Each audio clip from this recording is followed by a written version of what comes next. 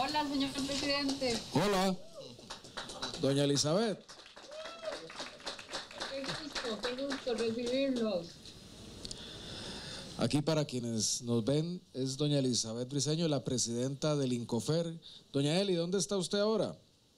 En la estación del Pacífico, don Carlos. Muy agradecida con Fonatel y con con este ejemplo se inauguró el programa Espacios Públicos Conectados liderado por el MISIT.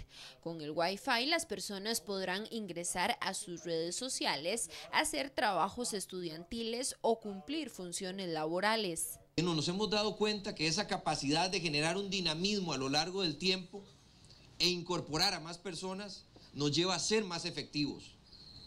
Y es por eso que estamos trabajando con el World Economic Forum para poder incluir procesos como inteligencia artificial, ciberseguridad, cómo poder llevar la tecnología a la agricultura, cómo poder llegar, la, llevar la tecnología a la disminución del desempleo.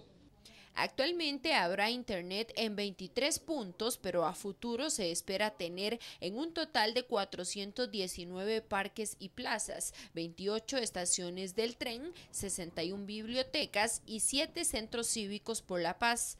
La iniciativa es financiada por Fonatel con administración de Sutel. Es un proyecto de casi eh, o de más de 60 millones de dólares eh, es una red de fibra óptica, 1500 kilómetros de fibra óptica a nivel nacional y de ahí eh, se deriva a 515 puntos Wi-Fi para llevar internet inalámbrica.